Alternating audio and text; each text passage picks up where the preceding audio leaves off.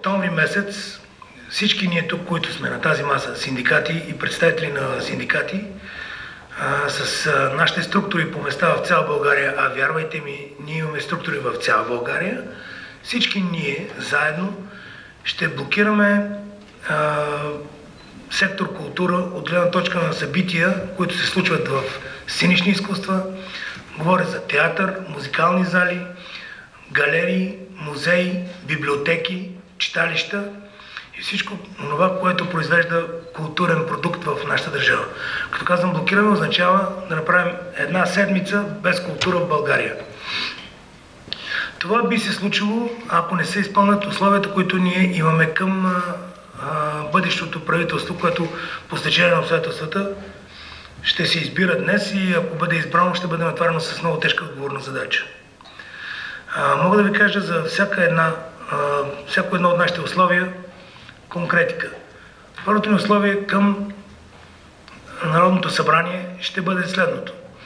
А, при правенето на бюджета, който трябва да бъде удължен до края на годината, защото такова, такова удължаване ще бъде гласувано, сигурен съм, а и натам върват нещата, при правенето на този удължителен бюджет, ние ще поискаме и искаме и настояваме тези 37 милиона, които са предвидени да бъдат отнети от капиталови разходи на Министерството на културата, да бъдат възстановени в сметката на Министерството на културата и в бюджета на Министерството на културата, но не в, не в капиталови разходи, а в перо издръжка, което означава перо, което е възможно да увеличи субсидията, с която се финансират сценични културни институти. А, втората задача към а, Народното събрание ще бъде приправянето на бюджета за 2024 година, това вече е и към правителството. А, задачата ще бъде а, приправянето на бюджета да отделят 1% задължително от а, брутния вътрешен продукт за нашия сектор, за сектор култура.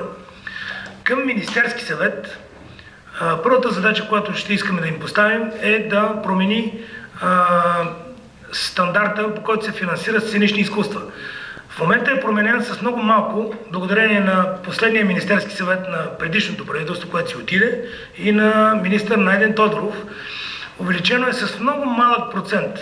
Процента е пренебрежително малък и най-лошото е, че, че тази нова субсидия ще влезе от а, 1 октомври. А до 1 октомври всички театри, които са били на плюс, гарантирам ви, ще минат на минус, дефицит и тогава държавата трябва да, да отпусне много повече средства, за да ги извади от тези дефицити.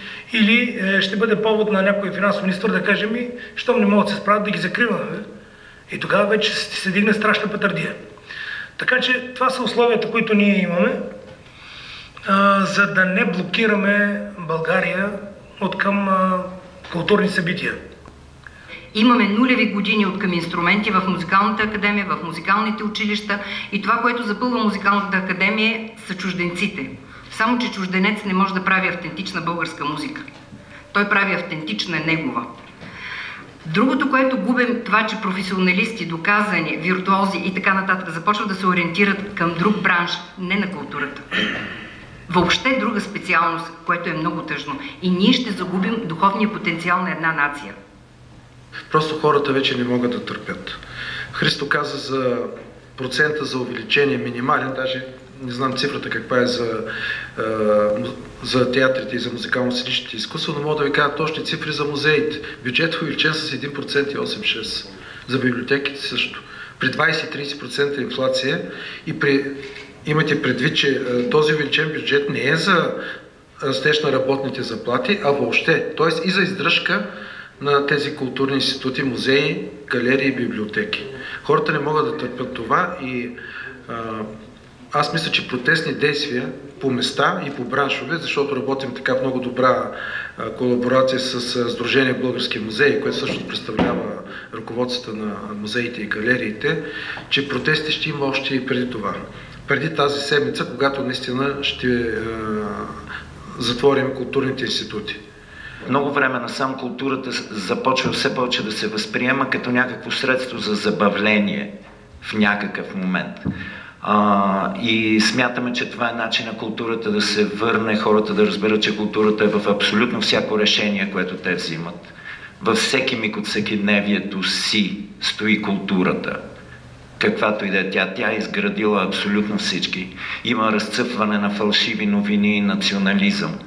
Те идват следствие невежество, а единственото средство за борба с това невежество е културата.